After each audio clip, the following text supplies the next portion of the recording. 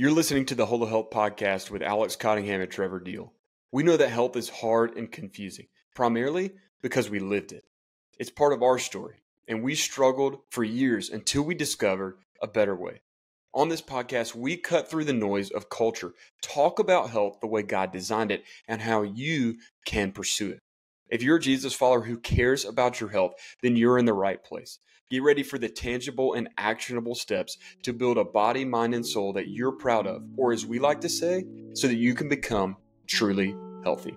Let's dive into the show.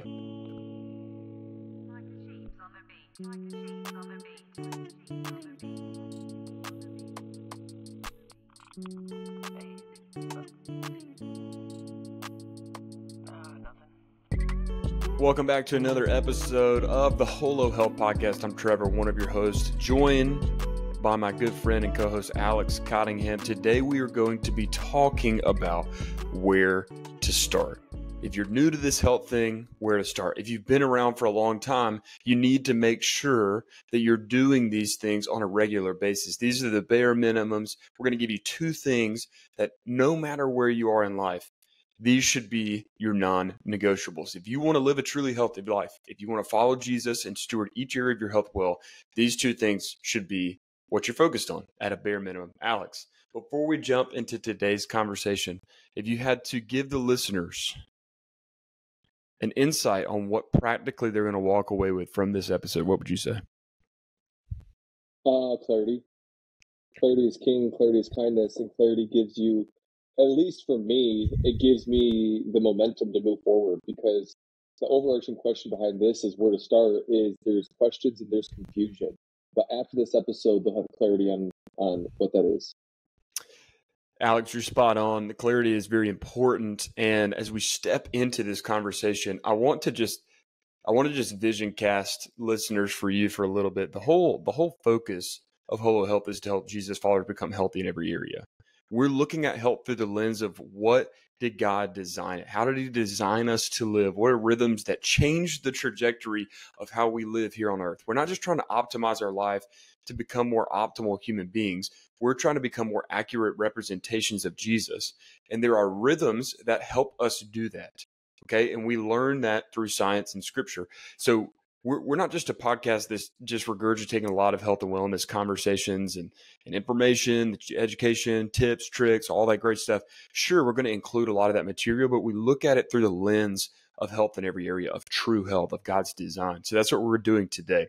The two things, Alex, that I want us to talk about that are that are the, the keystone parts to starting to live a truly healthy life and continuing to live a truly healthy life are these two things. One is going to be abiding in Jesus. Two is going to be moving your body. I want to talk about why those two things are the keystone habits, Alex, but I want you to start initially by talking about number one, abiding in Jesus. Through our lens, let's talk about why that's the first non negotiable of starting out and continuing to live a truly healthy life. The term abiding comes from John 15, and I'm pulling it up here. I believe it's John 15, 5. He says, I am the vine, you are the branches. If you remain in me, or other translations say, if you abide in me, and I in you, you will bear much fruit. Apart from me, you can do nothing. If you do not abide in me, you are like a branch that's thrown away and withers. Such branches are picked up and thrown in the fire and burn.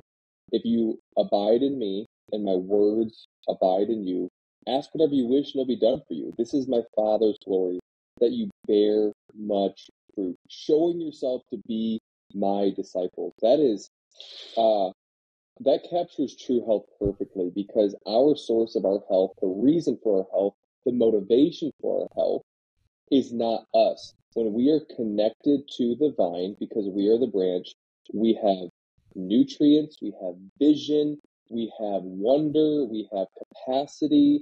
We are living life to the full.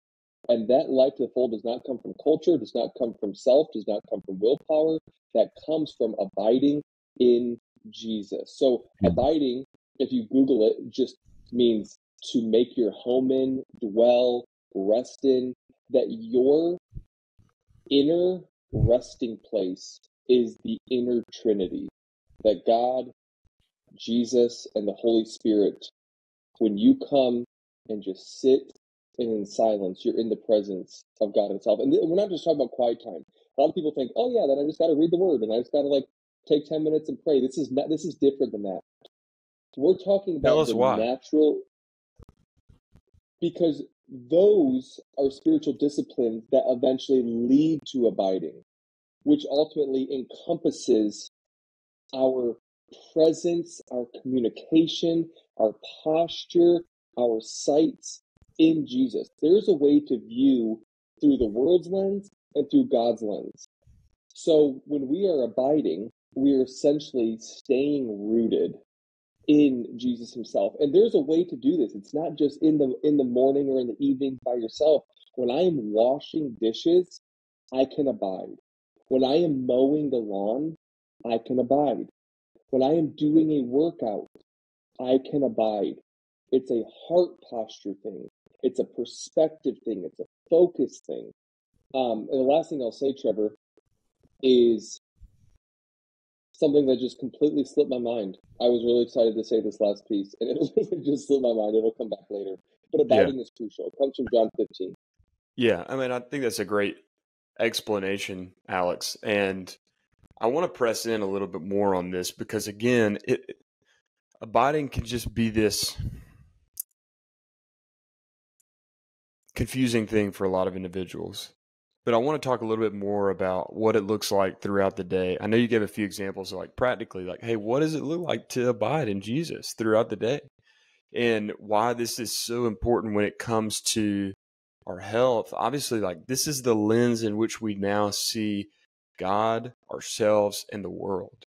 It's it's not it's not our own eyes. It's through another lens. It's almost like we put on contacts, and our vision is from our own blurriness to clarity, just like you said at the start of this episode, in what in who Jesus is, in our identity in Jesus, and how do we operate in the world? What do we see? How do we how do we love as a husband, a, a father, a friend? How do we work? How do we how do we do life?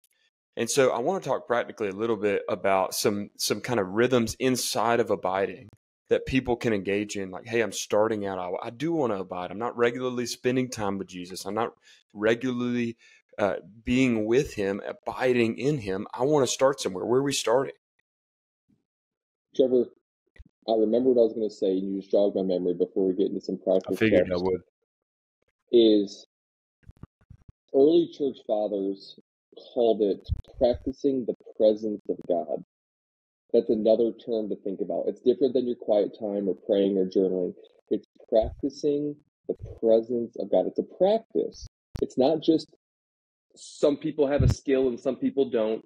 It's not just a, oh, hey, like I'm Jesus wipe me clean and I can go do whatever I want. No, it is a practice that we intentionally work towards to remind ourselves of the presence of God. The analogy that I like to think about is marriage. It is the best analogy that if I am gardening, if I am digging up plants in my garden and doing that by myself, that's one thing.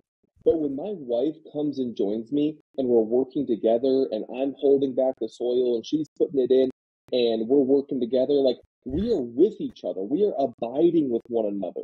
That I'm taking into consideration the fact that she is with me. We're on the same team and we want what's best and we want to accomplish this goal. And she's just, we're together. I'm being with her. That's the exact same thing with Jesus.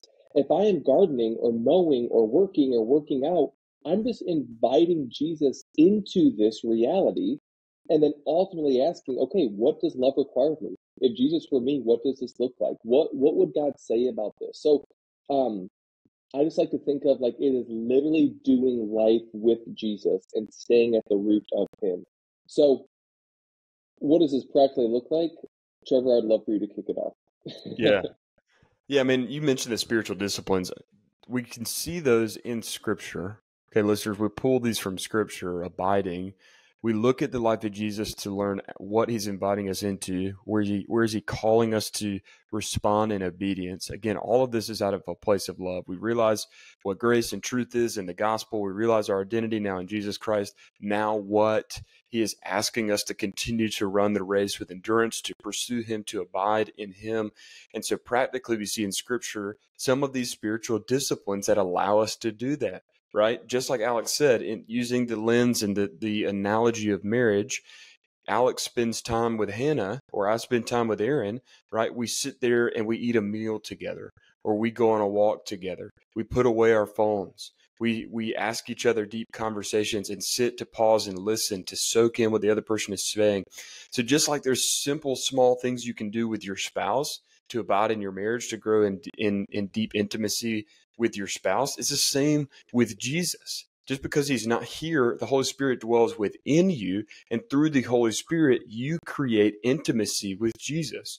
And so, a couple of spiritual disciplines that come to mind, I think the, the best places to start are going to be opening scripture in reading God's word. That's going to allow you to read and understand who Jesus is, what he is calling uh, you to do today in life. And, and of course, he speaks specifically to people, to Pharisees and parables, his disciples, but there, there is context and application for us today. And that happens through reading, seeking to understand, asking the Holy Spirit to reveal what is God, what is Jesus saying to me. So reading God's word is, is what I believe is a cornerstone part of abiding in Jesus. Because if you don't if you don't set up something for you to set your mind on truth, then you're not going to accidentally drift there. Mm-hmm. You just will not. We talk about it all the time. The cultural undertow will pull you away from true health. We're talking about health in every area. It starts with Jesus. It starts with your identity in him.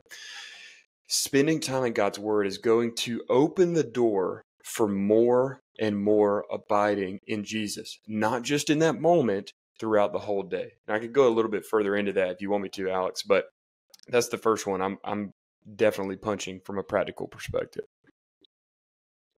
Yeah, scripture is a huge one. Um, for me personally, lately, it's been silence and solitude. It's not just an escape from the busy hustle bustle of culture, but it allows me to remove the distraction and the noise, both internally and externally, to actually focus on Him. Because God is working, whether we are aware of it or not. Mm-hmm. And I just want to slow down and become aware of what He's actually doing and how I'm actually abiding in, or what I'm actually abiding in. So, um, taking the time, especially in the morning, just to recenter. And yeah, prayer typically envelopes this, but just calming the mind, surrendering the fears, sitting in silence with no phone, no distraction, um, really opens up opportunity for the Holy Spirit to speak. And I'm not saying mm. that there's revelations every single morning. I'm saying that I'm just reminded of his truth. I'm reminded that in the anxious moments in the morning that he's the good shepherd and I and I have everything I need mentally, physically, emotionally, relationally, spiritually in Christ. But I'm reminded of that truth because I've given myself space to go there. Yeah. Um, and for the Holy Spirit to work. So that's another one. Yeah.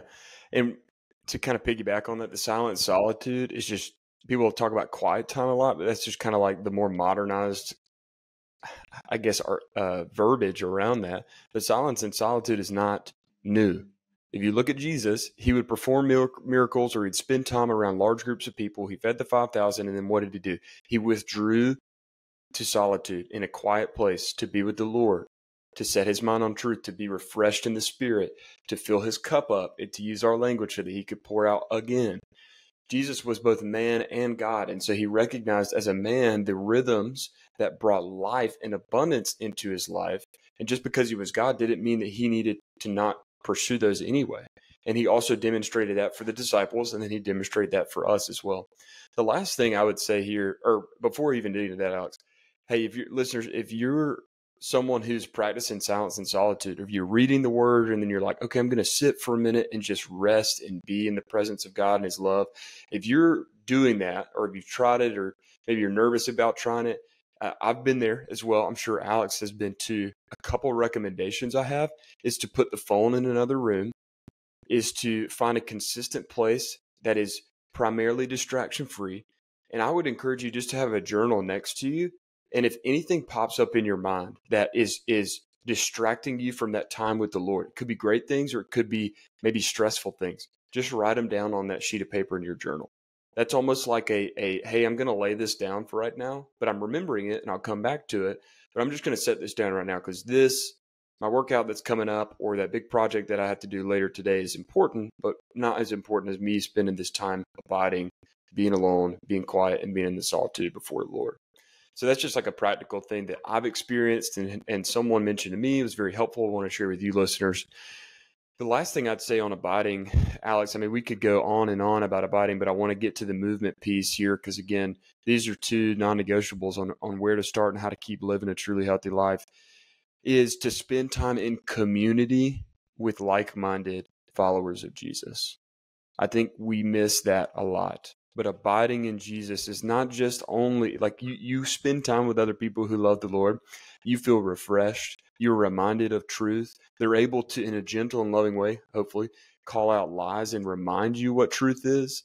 They're also able to deeply know you and and grow in those communal relationships. Relational health is a part of a truly healthy life.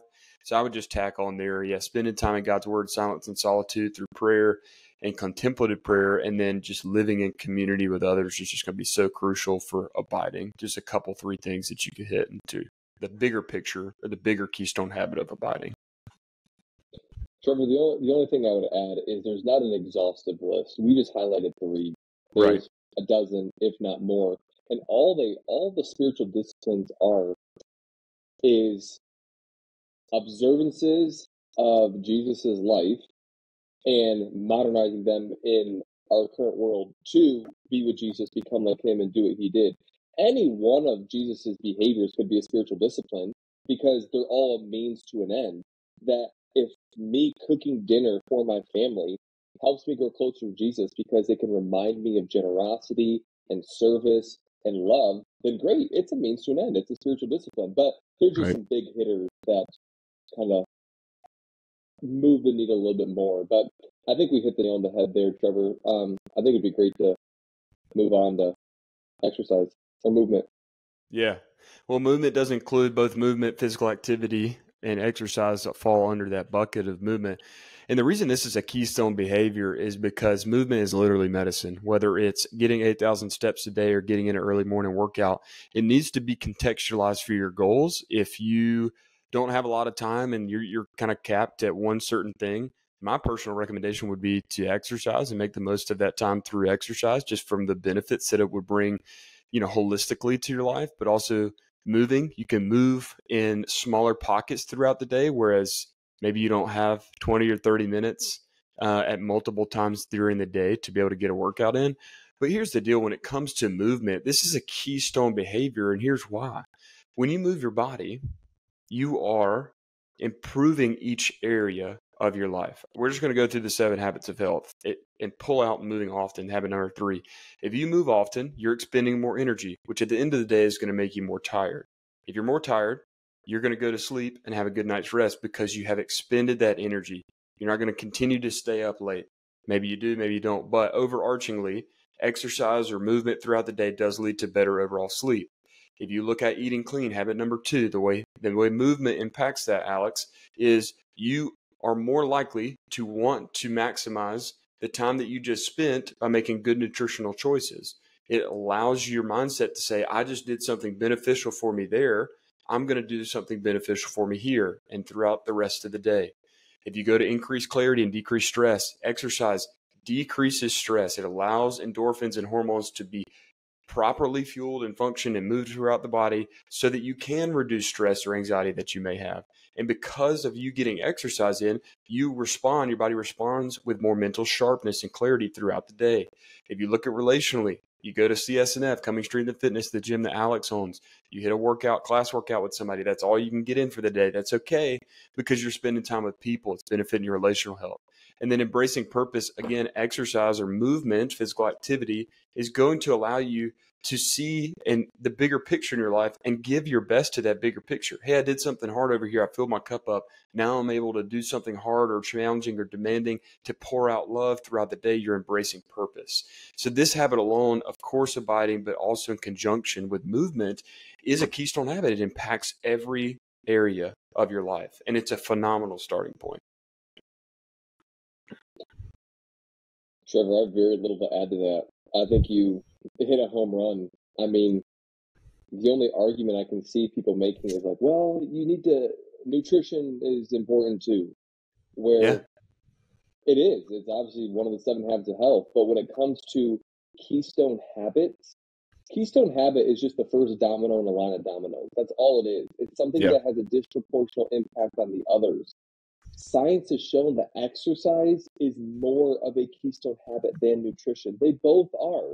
But just for whatever reason, when you move your body consistently, it fuels you to eat well and to sleep and to improve relationships and decrease stress and all that more so than nutritionally. And just anecdotally, just from my own personal experience, I have seen that to be true. There have been many people in my life that are doing a diet or trying to eat clean without movement or very sedentary behaviors that it has not trickled down into other areas of their life. But the but I have found more commonly that when the habit and routine of consistently moving and exercising often is in place, way more dominoes are are hit than other yeah. ones. Not to say yeah. that we're against it because obviously we're for it. It's very very important. It's just it's just the evidence. Yeah. And if you're limited on time, my recommendation would actually for it to be exercise rather than steps in some capacity. And that's just going to have a, a larger scale effect on you than just going for a short walk. Just the benefits of moving functionally and the way that that benefits the body, your ability to move, your capabilities to meet the demands of life externally or outside of the gym. Exercise is going to be your biggest bang for your buck, your keystone habit, however you want to, uh, however you want to articulate that. But again, Alex, these are things that are kind of like the bare minimums of like, hey, we we want to live a truly healthy life. Where do I start? Let's start on these couple of things. And then if I want to continue living a truly healthy life, these two things are part of living a continued truly healthy life, becoming truly healthy. It's not become, it's becoming because it's a process, it's a continued pursuit, right? So these are these are keystone parts of it. They're in our seven habits of health. It's in all of our language and curriculum, our resources. But the reason we wanted to articulate this is because, hey, listeners, if you're trying to start, this is where you start. Hey, listeners, if you've been doing these things, don't stop doing these things. On the days that you don't have the capacity to do more, try to do these too because they go far further and have far greater of an impact on your health in the long term and your identity than not doing them. These two things, these keystone habits, we just told you why. We just told you why abiding and movement have these significant domino effects in your life. The bonus keystone habit would be, in my opinion, Alex, to eat a nutrient dense breakfast. To eat yeah. a nutrient dense breakfast is to eat proteins, fresh fruits and or vegetables, and some whole grains at breakfast to start the day. Not to miss breakfast, not to skip breakfast, but to eat breakfast and let it be made up of whole, clean, real foods. Here's why because that's going to have a domino effect again on the nutritional choices you make throughout the rest of the day. We do it with our one on one clients, we do it with our collective members. These three things, that's the bonus. If you're listening, you're like, I need a little bit more, there's your little bit more. Eat a nutrient dense breakfast. Find a protein source that you enjoy, put it on the plate. Try to make a third of it at least made up of that protein. Find a, a fruit and or a veggie, both one or the other, put it on the plate. The ones you enjoy. Find you a whole grain you enjoy in the morning, put it on there. Okay? start the day off really strong when it comes to nutritional, and it's going to benefit the other things. We're nourishing right there our body, mind, and our soul. It's impacting every single area. That's just where to start. You could live there your whole life, and you would be living a truly healthy life. It would significantly impact the way that you experience health today, in the future, and the way that you understand health to be health in every area. So if I am, as we're closing here, Trevor, if I like, okay, how do we do this? What's the plan? Here is the most basic thing. Okay. Simple is sustainable. I would start in a gospel and I would read a chapter a day. Mm. If you don't know what the gospel is, it's Matthew, Mark, Luke, or John. There are eyewitness accounts of, well, there, there are accounts of um, Jesus' life. Um, start with John, start with Mark. It does not matter. Just pick a gospel, spend time in it, and pray over it. 15 to 30 minutes. Done. 30 minutes of movement, whether you exercise, whether you go on a walk, whether you play a sport, just move. We actually have a guide that helps you do this.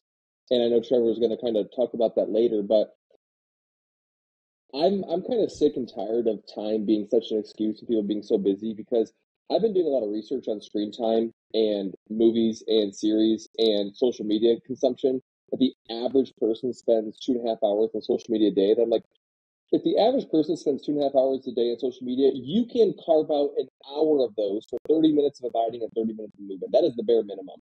So mm. it's not a matter of time, it's a matter of what you're doing at that time. That is the bare minimum that you can start doing.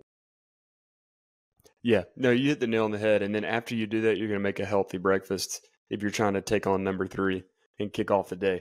Here's where we'll end the episode, listeners, is we know that you want to be healthy. We know you want to get health right. It can be hard, it can be confusing. If you're trying to do it alone, it makes it even harder because you're wasting your time. You're guessing instead of following a proven framework. You're doing it alone, so you feel isolated and you don't have the accountability or the motivation to continue. So we decided to do something about this. We realized that not everyone needs one-on-one coaching, but everyone needs resources and accountability and w- knowledge and a framework on how to get health right today, tomorrow, down the road. And people need that. You might need that. And if you need that, we've done something about it. We've created the collective membership, which includes everything you need to become truly healthy without the coaching, without the one on one coaching. And here's what I mean by that we have put workouts. We've got uh, workouts that have three different tracks CrossFit, bodybuilding, and at home. We've got nutritional guides. We've got guides for if you're busy, how to spend your time. We've got excerpts from books that Alex has written. We've got the full books themselves. You've got access to our three three part, three step framework on how to become truly healthy, all wrapped up inside of a community that you get access to of like minded believers who want to get health right, will want to pursue health the way Jesus designed it in every single area. Inside of that community, we're holding each other accountable through challenges, coaching calls. We're, we're have a chat room where you can make available to get access to coaches or other members to ask questions. We are here to provide every single resource you need to live a truly healthy life. That's the Holo Collective membership. And if you're interested in getting health right, if you're done with the hard and confusing, if you want to live a truly healthy life in every area, then go click the link in the show notes. We are releasing this 2.0 version of the Holo Collective membership, and you don't want to miss it.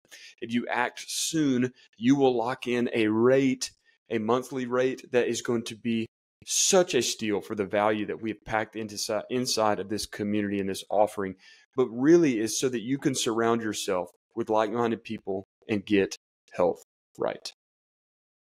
Alex, add, it, add anything? Come on. No, that's it. It's all the tools that you need to succeed. That if you're a go getter and you want to get health right, this is exactly for you. You want to achieve a body, mind, and soul you're proud of. This is it. Because we have two we have two things. We have this without the coaching, we have this with coaching. But if you need accountability and a coach that reach specific goals and go through the framework with someone, that's what that's for. But as far as just the tools, we have given you every single tool and more. I mean, Trevor, you left out podcasts, you left out playlists, you left out um, um, different PDFs, cheat sheets, um, ebooks, not just the digital books, but ebooks as well. Like there is just a library of stuff that um, is all yours to use. So go check it out. Go check it out. There's the coaching or the collective memberships below. Again, different accountability levels. Click those links to check it out. And then Alex mentioned the 60 minute busy person's guide to a healthy or truly healthy life. I put that in the show notes as well for you to access. We hope you enjoyed this. Remember, wherever you're starting or if you want to continue living a truly healthy life, abiding in Jesus and moving your body on a daily basis are two things that should be non negotiables for you. We'll see you in the next episode.